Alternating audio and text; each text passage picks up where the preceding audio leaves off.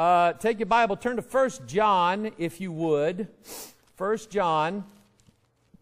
That's where we're going to start tonight. Appreciate you being with us tonight, all you people online. Appreciate your prayers for me um, and for our church and the things that we do. Uh, this is about the sickest I've been in a long time. Um, the back in 1993, it was in December of 93 when I resigned the being pastor of the church at Richwoods. And it was supposed to be a special day. We were supposed to have a, a Christmas program that night. And um, I had practiced with the church. I was going to play the piano and sing some songs. The choir was going to sing. And um, during that afternoon, Lisa and I would, a lot of times, uh, you know, we'd have to drive all the way out to Richwoods, come back home Sunday afternoon, rest, and drive back for service. We drove home, ate some, ate some mid afternoon dinner, and between then and church time, I got horribly sick. And I mean, whole body ached like you wouldn't believe not even hardly able to stand up. I did the rehearsal, couldn't do the service. I could not physically stand up. I was laying down in the basement of the church, sick as a dog. My last service at that church, I had already resigned. And some guys came down, literally picked me up and carried me to our van. Lisa started driving home that night. And a wave hit me on the way home and I, it was like, I, again, I felt like I was going to die. You just get a sickness that just hits you. It was the flu or some kind of virus like that. And I said, I told Lisa, I said, stop the car, stop the car, stop the car. She said, what's the matter? Kids are going into, the girls are crying. Lindsay's in the back going, is dad going to die? And I'm going, I hope I do. I don't want to live through this. And I opened the door and had Lisa not grabbed my coat, I'd have fallen plumb out, I think. Anyway, I got home that night. I hurt all night into the next day. That's, and Saturday felt like that. I won't get into the details. Is that okay?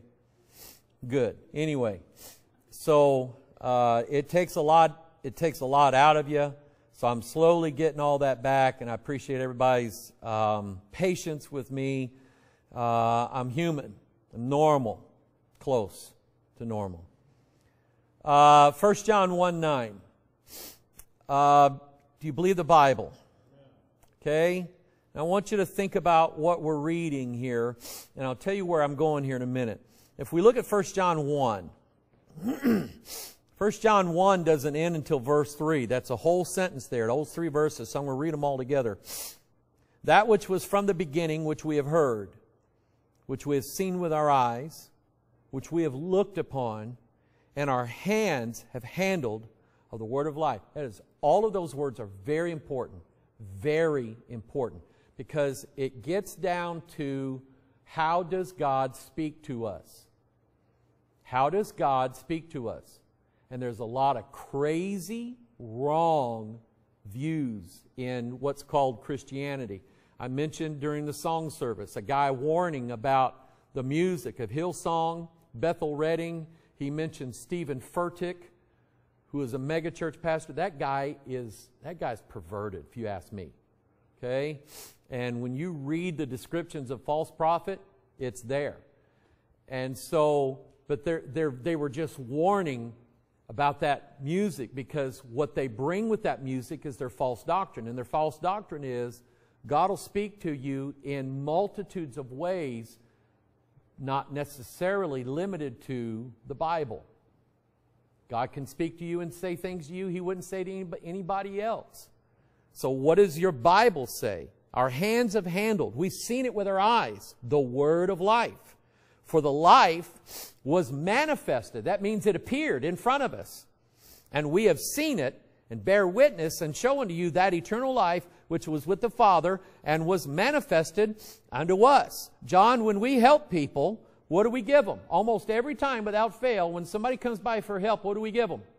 Bible. I was hoping you'd say a Mike Hoggard DVD, but Bible's good enough. Just kidding. That which we have seen and heard declare we unto you, that ye also may have fellowship with us. And truly our fellowship is with the Father and with His Son, Jesus Christ. And then verse 4, and these things what? Write we unto you, that your joy may be full. What we share with people outside of this church did not come out of our head. It did not come out of somebody else's head. It came out of the book. It came out of what was written. And tonight, we're going to go through the importance of having it written down. I was a lousy note taker in school, terrible note taker. It took me getting out of college, and then when God really began to make me study this book, that's when I started taking notes, and I'm glad I did. Because I would write things down, then forget it, go back to my notes, read it again, go back to the Word of God. I would think I knew a verse and say it, Brother James, wrong. And be proud of myself. See, this is what I believe. I go back to the Word of God and read that verse, and I'm going, who changed the Bible? Obviously, it's not me that's wrong, but I was wrong the whole time. So uh, we have this common bond between us that unites every one of us.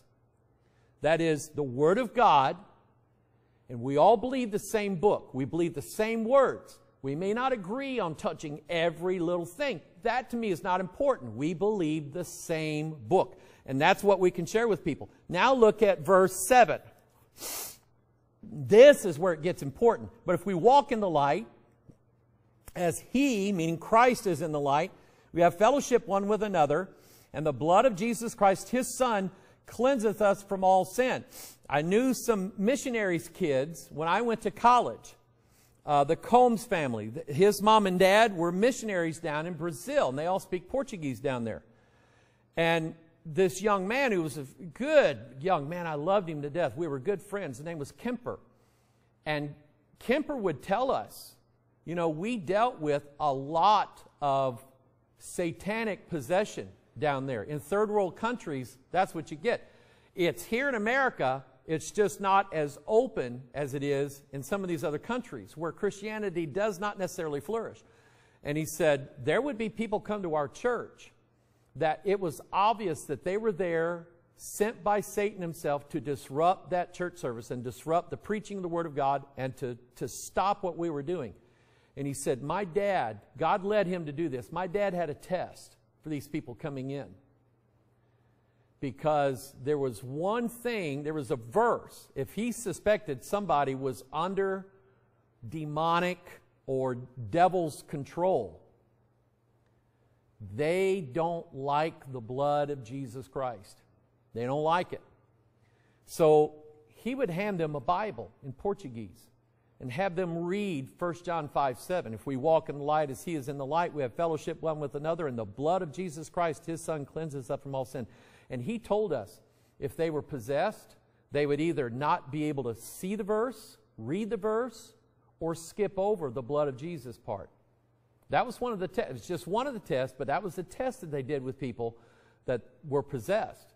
And then they would start the process of maybe trying an exorcism. But anyway, verse 8 If we say that we have no sin, we deceive ourselves. That's what I was preaching about Sunday.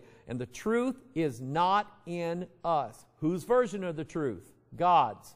Verse 9 If we confess our sins, He, meaning God, is faithful and just. Now, He's two things here to forgive us our sins and to cleanse us from all unrighteousness is if I lead someone to Jesus, if I'm witnessing to them, I've got them down, I'm reading the Bible, I go through 1 John 1 9. If we confess our sins, that's our part, that's our responsibility. God is two things here. Number one, He's faithful, meaning that God, uh, His character is such that He will not ever deceive us. He's faithful. This Bible's telling us that if we confess our sins to God, God will forgive those sins. He's, he's morally obligated to do it. That's the faithful part. Then he's legally obligated. He is faithful and just, meaning that God is legally obligated to forgive our sins. We learned this, Sterling, when we were taking our concealed carry class. If you remember, the guy taught us the difference between the laws in some states. In Hawaii, the law said that if you meet, these qualifications, the state of Hawaii may issue you a license. That sounds good. The state of Missouri says if you meet these qualifications, the state of Missouri shall issue you a license. The difference in the meaning of the two words may in Hawaii means we don't have to if we don't want to. Even if you meet the qualifications as the government, we are not necessarily bound in any way, shape, or form to give you a license to carry a concealed weapon. And I went, Are you kidding me? Said, no, lots of people, they said lots of people apply in Hawaii and they never get a license, even though they're qualified. State of Missouri says shall, meaning the government, by its own terms, is obligated. And you can sue and win, and a guy did. Because he went to the license office, state of Missouri, took the class, met the qualifications, sheriff's department, the whole thing. He goes to the license office. The governor the, of Missouri at the state of the time was a liberal. And he tried to get this thing going where these license offices were getting all this information on all these people coming in to register for a concealed carry license. He was building a secret database on people who had guns. And so the license office told this guy, well, we're going to need to see a birth certificate. We need to see this. We need to see that. And the guy said, no, you don't. And they said, yeah, we do. He said, no, you don't. I met the qualifications. I want my license. They said, we're not giving it to you. He sued and won because the law said so. Is it important that those laws be written down? Is it important? So, if God is faithful and just, what is it that a guy can do what's right even though it's not legally demanded that he do what's right? That's the moral part. He is faithful. But if the law says an officer, a judge, some sort of court official, some sort of public official, if the law says that they must do this, they must do it. The Attorney General of the United States of America, God bless him, he's suing New Jersey, Washington State, and California. Suing those three states. You know why? They have sanctuary cities. And they've said, we don't care what the law says. We're going to let illegal aliens come into our cities all we want to, and we're not going to follow the law. So the Attorney General of the United States of America says, You're guilty of a crime, and I'm going to hold you accountable for it. And since 2016, our president has been throwing out old judges, bringing in good judges, federal judges, so that when these lawsuits come to the courts, we now have judges who won't automatically throw them out because they're liberal. They're going to follow the law. Is it important that the law is written down? Amen? Look up on the screen. What is that? Certificate of marriage. Anybody can say, I'm married. Anybody can say that. Okay? I've had people over the years ask me, I don't want to go get some state thing. Well, okay, what are you going to tell the government on your tax forms? You're going to tell them you're married? You're going to tell them you're not married? Because if you tell them you're married, they may ask for proof that you're married. There's proof that Lisa and I are married. Number one, we have a copy of it. The courthouse in Hillsboro has a copy of it we can legally prove that we were joined in marriage July 10th, 1987, in the presence of witnesses. We can legally prove that. Or are you going to tell them you're not married because you can't prove it, but you believe in your eyes that you're married? So you're not being honest to somebody, you're not being honest with them. Either you're married or you're not married. And if you're married, you say you're married. Is there proof that you married? Because some people, hey, it's fornicate. And they call that marriage. And it's not marriage. There has to be proof. Uh, what is this? Anybody tell what that is just by looking at it? Car title. Is that important that there is a piece of paper that identifies, Lindsay's shaking her head. Is it important that there is a, an official document that says this particular automobile with these numbers on the license, on the, on the, um, on the engine, on the door, different places in the car, that this vehicle belongs to me. I'll ask this question. Is ownership of property wrong in the eyes of God? No. God gives us that right. How can you prove that you own a vehicle? I hear it on Live PD all the time. I just bought this last night from a guy. It's a $20,000 automobile. What'd you pay the guy? 300 bucks? What does that tell you? Where's the paper?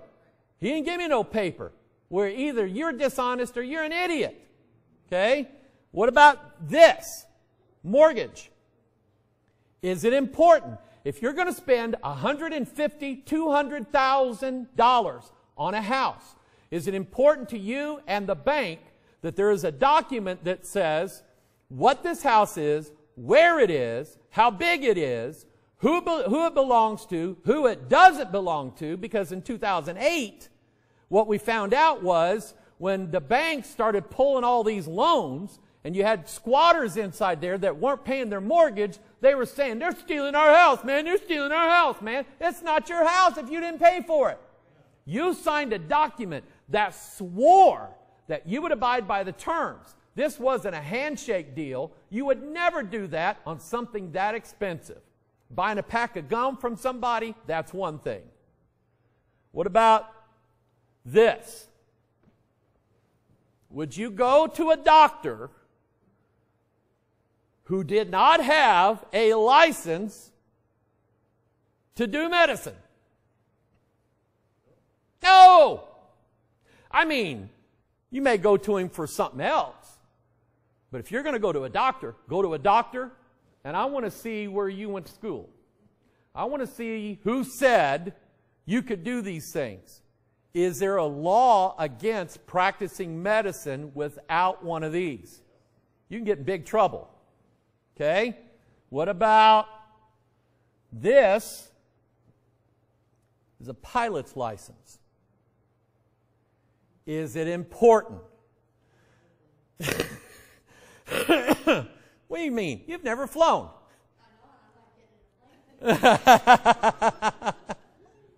okay, that's a pilot's license. If you don't have a pilot's license, I don't get on the plane. Okay, uh, rental agreement. Sterling, how vital is that? Pretty vital. And you can't make an agreement. You can't, I wouldn't rent anything from anybody if I didn't have a written contract. Written contract. And I'll, I'll read something to you in a minute. This is an automotive service. This is a mechanic's license. A license to work on a vehicle. Is there even a law for that in the state of Missouri? Yes, because in the state of Missouri they do car inspections, safety inspections. And I could ask JR, JR, write me out a piece of paper saying my car is in good shape. Why not? Okay? I will admit one year, I had an old clunker I used to drive back and forth to work all the time, and I took it to a guy that I knew. And he said, Mike, what do you want? I said, I want a, uh, inspection sticker. So the guy raised the hood. I said, No, you didn't hear me. I don't want the inspection. I want the sticker. Oh, okay. So he gave me the sticker. okay, that was that was back in the old days. Now, let me. I want to spend some time reading this. It's the difference between a verbal and a written contract. Most verbal contracts are legally binding. However, There are some exceptions depending on the construction of the agreement and the purpose of the contract. In many cases, it's best to create a written agreement to avoid disputes. For instance, employers, employees, and independent contractors may find it invaluable to document the terms of their agreements in an employment contract or service agreement. Although an oral agreement may be legally enforceable, it can be tough to prove in court. Judges like to see documents. What are the elements of a valid contract? Depending on your source, there can be anywhere from four to six elements that make a contract legally binding. Some sources consolidate elements under the same title. Uh, they are number one, offer and acceptance. I'm going to run through this very quickly. Offer and acceptance means I made John, John an offer. I'm going to sell John a pencil that I have on my desk. It's a $100 pencil. John's going to pay me off a penny every other week till it's paid off. So we write this down in a contract. I offer him that contract he accepts it. How does he accept it? Signing it. That's been done for years. Um, even in days when people couldn't sign their name, they would say, make your mark. And a guy would simply make some form of mark that identified that it was his mark, and that was, that was held up in court. So there has to be an offer, there has to be an acceptance by the second party. Number two, it must be a lawful purpose. It cannot be something that breaks the law. You cannot have a legal contract with somebody. I can't hire John to kill Sterling. Most of the time. I can't hire John to kill that. He can sue me. He will not get anywhere. It's an illegal contract. Must be a lawful purpose. Number three, must be a lawful consideration. Number four, certainty and completeness of terms. Let me explain this. There's an element of the law, I'm going to say this wrong, but it's called something like quantum meruit. And I'm not saying this quite right, but it says that if, if John contracts with me and John's going to build a house for me, and it's a $100,000 house, and he does everything except put the doorknobs on. I could say, he didn't finish the job, I'm not paying him. But the law says that for the work that he did, I must pay him. Legally, I must pay him. Even if he didn't finish all of the contract, anybody can put the doorknobs in. I have to pay him. I can deduct what is legally allowed, but I have to pay him. So certainty and completeness of the terms. Free consent of the parties. Okay? You can't tough guy a guy into signing a contract. It's not legal. Capacity. They both have to be of a sound mind.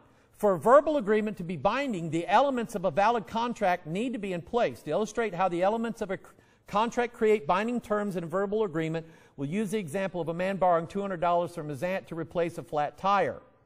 Um, I, won't, I won't read all of this, but those are basically the terms for that. And let me say this, and I've said this before. Once you sign a written contract, contracts are always dated. Dates are important to the contract, very important. Okay? Once you sign a dated contract, that contract bears the force of law. You cannot make a verbal agreement after the signing of the written agreement. It's not, it won't be held up. The judge will throw it out because the written contract was binding. This is my point. All of these people who say, God told me this, God told me that, I heard it from God directly, or as in the case of Joseph Smith, an angel of God came and told me this, Paul accounted for that. Though we are an angel from heaven, bring you any other gospel, let him be accursed. We have the terms both in the Old Testament law in the book of Deuteronomy and the New Testament, the book of Revelation, at the end of the, of the contract. It specifically says, no words added, no words taken away. That was, that was the last book given. And that's important because the book of Revelation is given to us let's say, a year after Christ died, then everything that Paul and Peter and James wrote is null. We shouldn't believe a word of it. But God's smart. God's way smarter than us. He puts the book of Revelation with those terms at the end of the contract and says, this is now binding. And anybody who messes with this contract, I'm going to void the contract on them. They are no longer qualified to be that. That hit me like a ton of bricks. When you stop and think about the number of people who accept the Bible with 64,000 less words in it than the King James. Something's fishy with that. Something's not right. Amen? Now, turn to Galatians 3. This is the Bible as a contract. And that is exactly what it is. Um, the Constitution. I believe in the Constitution. You know what? It doesn't matter if I believe in it or not.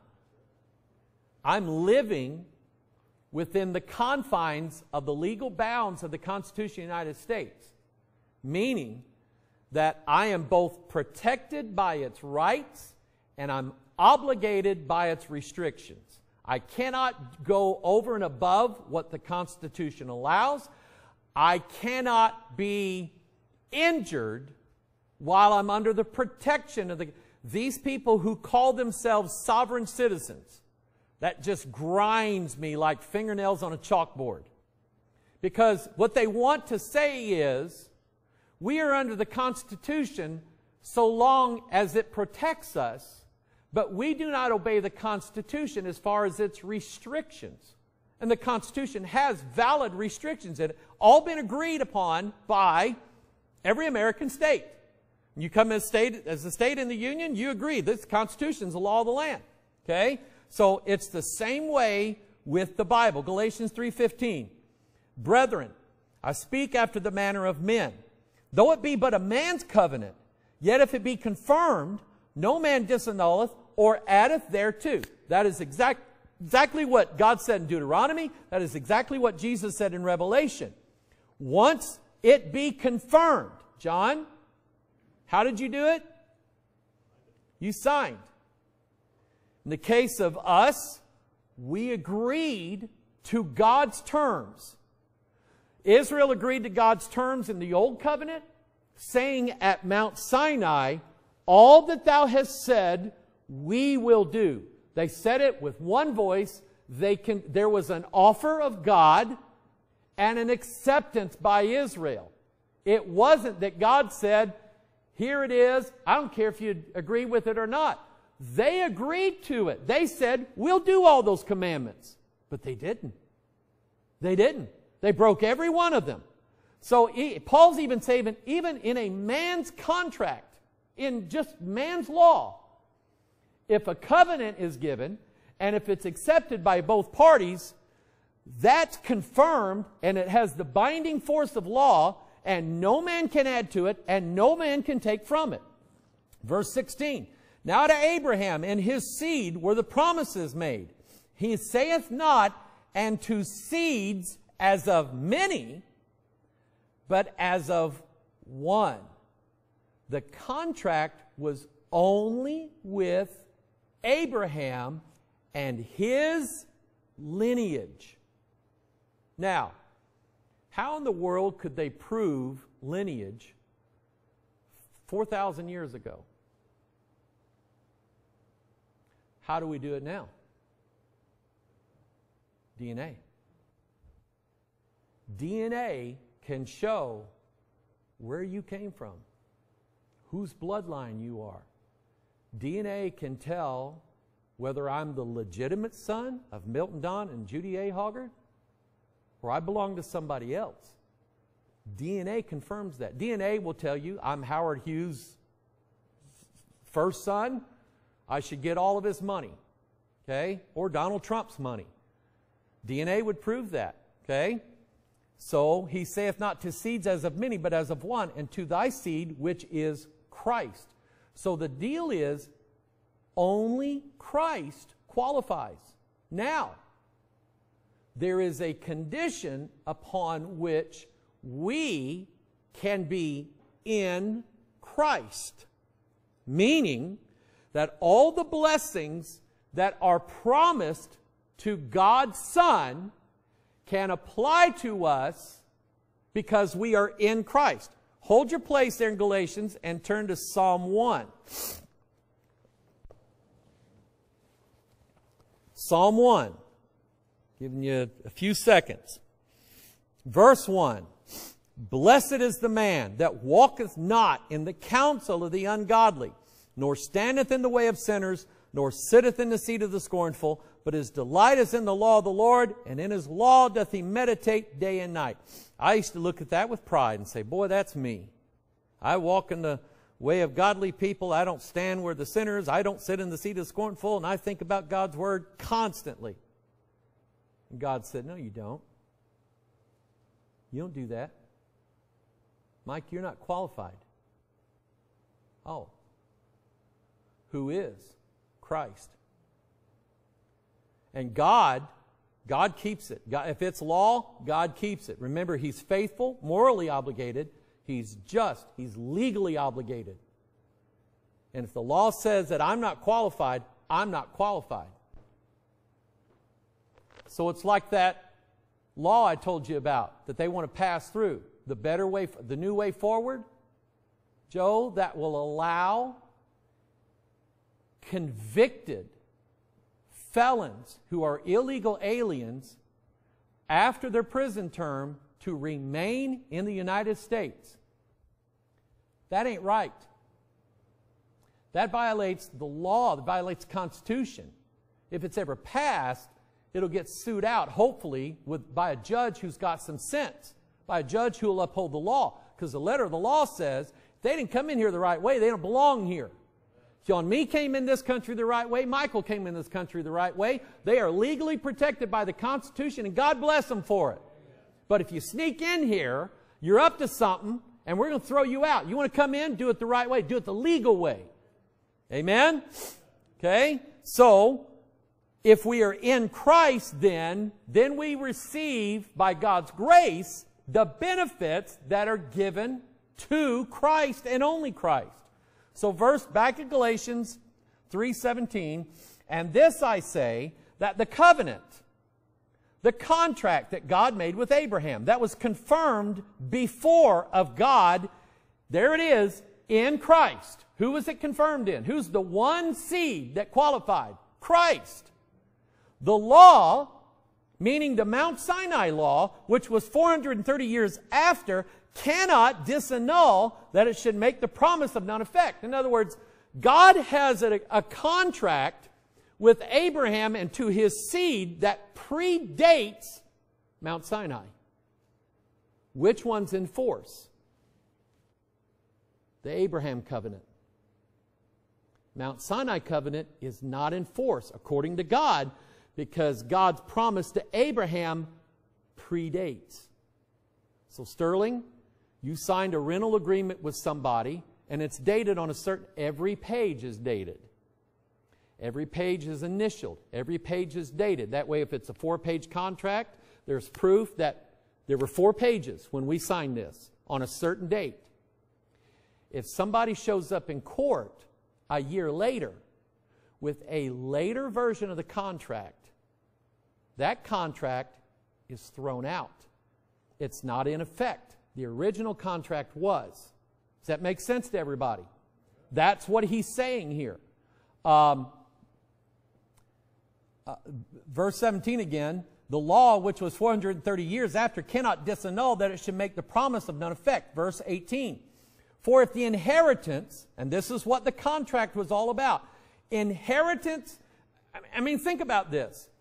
A testament is a, a, a last will and testament is what somebody signs before or after they die. Before. You can't, a dead man can't sign a contract. It's signed before they die, dated, and it gives out in specific detail where all my stuff goes after I die. Because after I die, I can't have it. There's no law that says a man who is dead can own anything. His property, his estate has to be given to somebody. And if you don't have a will and testament, then it goes to the courts. And the courts have to try to figure out. And this takes a long time. So you have a will and a testament. And that's what he's talking about. For if the inheritance be of the law, Mount Sinai, it is no more of promise. It's earned instead of being inherited by birth. And there's a difference. But God gave it to Abraham by promise. I know I'm running out of time, but I got to say this. You know why Jim Staley's in prison right now? Jim Staley, the guy that ran the Hebrew Roots Church up in St. Peter's, the guy that does not like me and the feelings are mutual. You know why he's in prison right now? He was selling a man's insurance policy. He was selling the rights to this old man's million dollar or whatever life insurance policy. He was going to people saying, Give me money every month, help me pay the premium, and when this guy dies, we all get a cut. He was selling this man's inheritance and he did it with he's, he was selling securities without a license. I mean, they got him on fraud. He owes over a million dollars to the people he defrauded. Guy's a crook. Uh, let's see, thou shalt not steal. That's part of the law, isn't it? Okay, that's what he was doing. So if the inheritance, verse 18, be of the law, it is no more of promise. But God gave it to Abraham by promise. He gave it to Abraham before Abraham did anything. He promised it to him. Verse 19, wherefore then serveth the law? It was added because of transgressions, till the seed, who is Christ, should come to whom the promise was made. You know what the law did? The law was there to make sure that nobody else qualified for the inheritance of Abraham. Nobody else. Only Christ. So, and it was ordained by angels in the hand of a mediator. Now, a mediator is not a, and I think that mediator was Melchizedek. I think that was the angel that mediated the covenant, that brought the covenant between God and Abraham. That's just my guess, but that's what I think. Now, a mediator, verse 20, is not a mediator of one. In other words, I can't make a contract with myself. Okay? I can't have a lawyer make a contract with me. Uh, a mediator is not a mediator of one, but God is one. So God is the party of the first part. We are the party of the second part. Is the law then against the promises of God? God forbid. For if there had been a law given which could have given life, verily righteousness should have been by the law. But the scripture hath concluded all under sin, that the promise by faith of Jesus Christ might be given to them that what? Believe. And is it important that we have the right Jesus Christ?